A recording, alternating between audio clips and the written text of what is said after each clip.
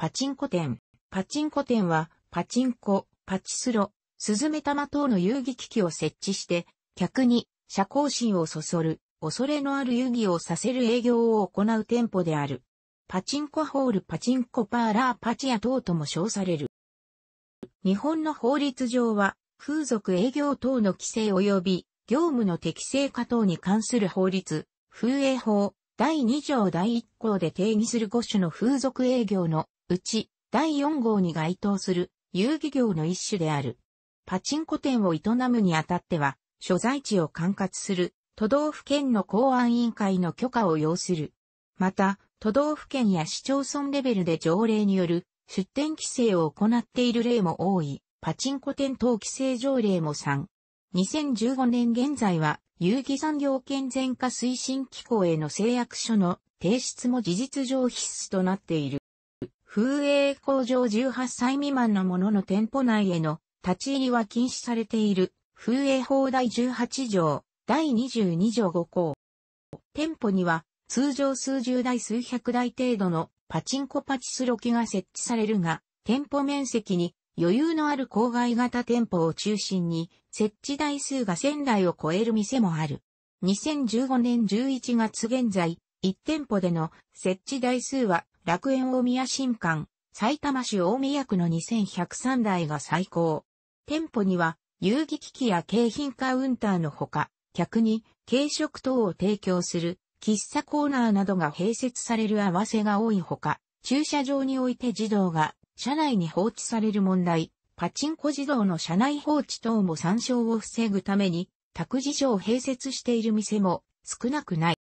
営業時間については、風営法の規制上深夜0時までに閉店しなければならないほか、風営法第13条、都道府県単位で条例により営業時間が制限される。東京都では条例により午後11時から翌日の午前10時までの間は営業が認められないため、午前10時開店、午後11時閉店の13時間営業が一般的となっている。その他の道府県でも午前9時もしくは午前10時開店、午後11時閉店となっている地域が多いが、青森県では午前8時30分開店、沖縄県では深夜0時閉店となっているほか、石巻市では主に週末に午前7時開店としている。店舗もある。また、2006年の風営法改正で、同法違反時の罰則が強化されたことに伴い、閉店時刻には、客が全員店から退去していることが求められるようになったため、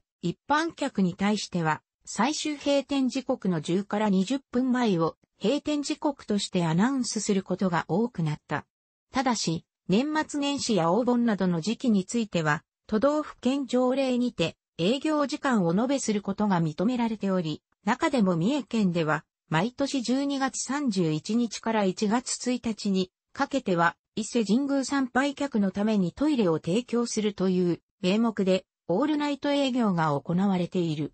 このほか、複合型リゾートホテル、ザパラダイスガーデン佐世保、佐世保市内にオープンしたパチンコ店、パラダイスでは主に外国人宿泊客をターゲットとしているため、営業時間はホテルのチェックインに揃えた16時から22時40分まで、また宿泊客に外国人がいない日は休業とするなど特殊な営業形態をとっている。パチンコ店周辺にはパチンコの遊戯の結果として提供される特殊景品を買い取る景品交換所が設置されている。ただし、パチンコ店内では積極的に景品交換所の所在地を案内することはない。通常はこれに特殊景品の卸問屋を交えた、いわゆる3点方式による関係が成り立っている。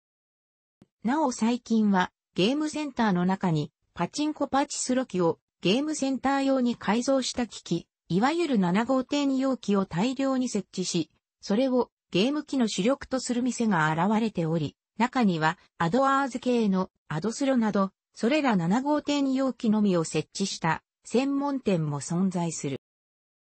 パチンコ店によっては複数の店舗を構えていることもあり、パチンコ店は2017年現在業界最大手のマルハンの年間売上が1.6兆円を上回る。ほか、他にも数千億円規模の売上高を持つ企業が複数存在している。このため他業界の大手企業による進出例も少なくなく、クレディセゾン系のコンチェルト、コンサートホールなどは、その成功例と言える一方で、かつて大英系列だったパンドラなど、後に株式売却、撤退に追い込まれた例もある。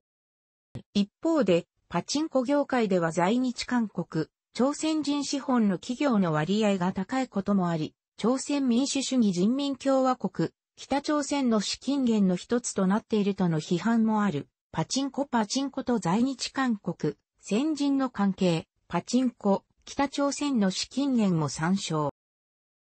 近年は、下記の統計にも見られるように、店舗数自体は減少傾向にある一方で、パチンコパチスロ機の設置台数は2007年以降ほぼ横ばいとなっていることから、小規模店舗が淘汰され、設置台数の多い大規模店舗への集約が進む傾向が見られる。また、主に個人経営ないし、それに近い店舗が閉店後、リニューアルされ大手チェーンの店舗へとくら替えする傾向見られる。閉店したパチンコ店の跡地はデベロッパーが取得し、分譲マンションとなるケースが見られる。